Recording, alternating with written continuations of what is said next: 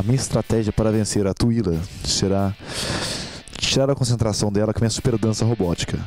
Mais ou menos assim. Tuila, você está ferrada. A minha estratégia para cantar com o Paulo é encher o camarim de queijo, que ele é mineiro, ele vai ficar preso lá, não vai, vai sair para cantar comigo.